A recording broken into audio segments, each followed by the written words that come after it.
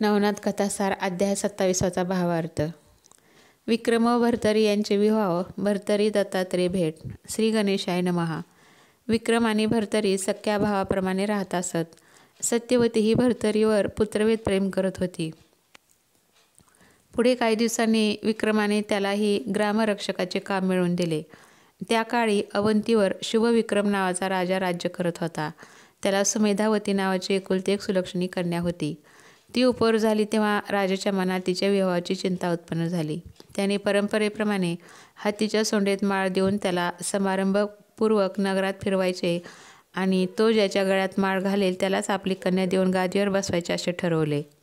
पुढे शुभ दिवस उत्तम मुहूर्त पाहून त्याने कन्येच्या शुभविवाहाची घोषणा केली. देशोदेशीच्या मान्यवरांना निमंत्रणे धाडली. नगरामध्ये उत्तम सजावट केली आणि एका भव्य हत्तीला उत्तम प्रकारे सजवून त्याच्या सोंडेत एक माळ दिली.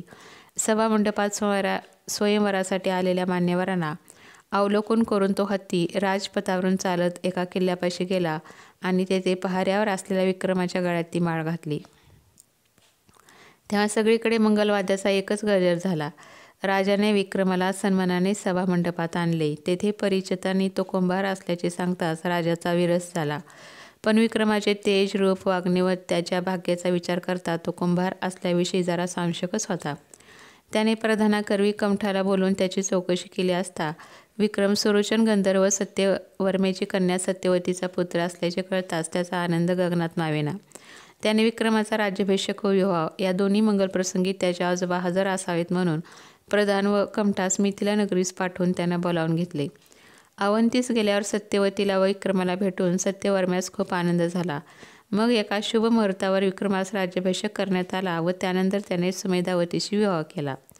या प्रसंगी सत्यवर्म्याने आपल्या नातवाला आपले राज्यच अंधन म्हणून दिले. अशा प्रकारे नगरवेशीवर पहारा देणारा विक्रम दोन्ही राजांचा स्वामी झाला. भरतरीमुळेच आपला भाग्योदय झाला म्हणून विक्रमाने त्याचा मोठा गौरव केला आणि त्याला युरवा युवराजपद दिले. ते दोघे परस्परांच्या विचाराने एकमताने राज्यकारभार पाहू लागले. त्यानंतर काही दिवसांनी शुभविक्रमाचा प्रधान सुमती याच्या मनात आपली कन्या पिंगला हिचा विवाह भरतरीशी करून द्यावा असा विचार आला.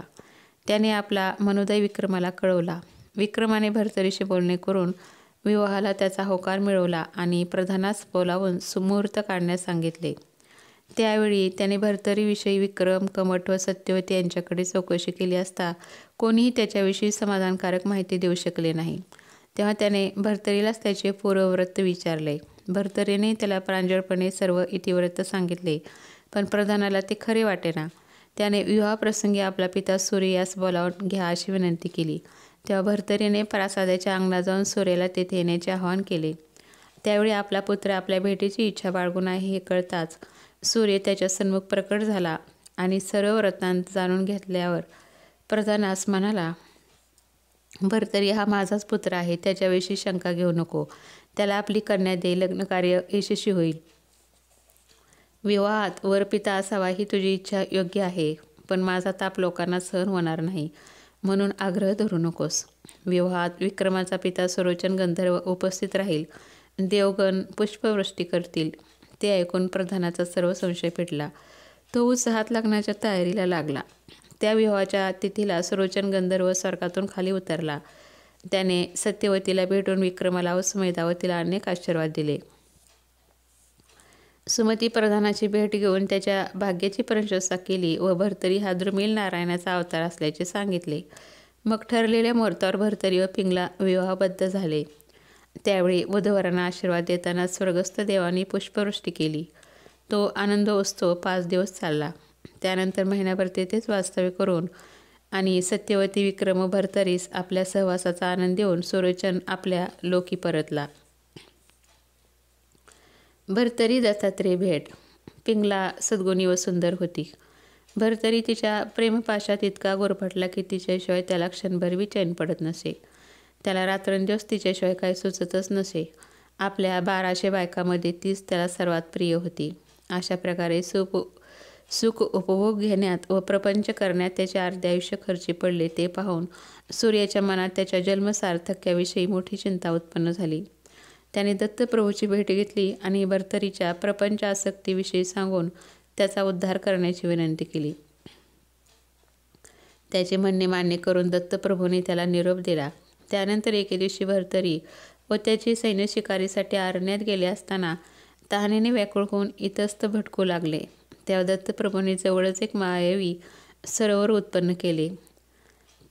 तहानेने प्राणकंठाशी आलेला भरतरी पाणी पिण्यासाठी तेथे गेला तेव्हा दत्तात्रेयाने त्याला अडवले व म्हणाले तू कोण? तुझे नाव काय? तुझे माता पिता व गुरु कोण आहेत? त्यांच्याविषयी न सांगताच पाणी प्यायल्यास स्मरण येईल. भरतरीने आपली माहिती सांगून अद्याप गुरु केला नसल्याचे सांगितले व त्यानेच मला अनुग्रह द्या अशी विनंती केली. दत्तप्रभूंनी त्याला बारा वर्षे तपश्चर्याचा संकल्प करावयास सांगितला. त्यावर भरतरी म्हणाला माझी संसारातील कर्तव्ये अजून बाकी आहेत.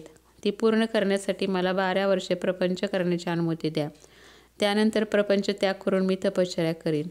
त्याला संमती देऊन दत्तप्रभूंनी त्याच्याकडून तसा संकल्प करविला. त्याला मंत्रोपदेश दिला आणि आपली ओळख सांगितली.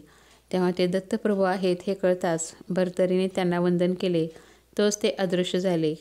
तेव्हा तृष्णा व्याकुळ भरतरीने त्यांचा अर्थ धावा करताच प्रभूने कामधेनू व भोगावती नदीस तेथे पाचारण करून त्याच्या सर्व सैन्याच्या अन्नपाण्याची व्यवस्था केली. ते पाहून भरतरीचे हृदय भरून आले. श्रीगुरूंचे स्मरण करून तो अवंतीकडे निघाला. तेव्हा भोगावती व कामधेनू स्वस्थानी परतला. या अध्यायाच्या श्रवणाने वाचनाने हरवलेली वस्तू व पूर्वीचा नाहीसा झालेला अधिकार परत मिळतात.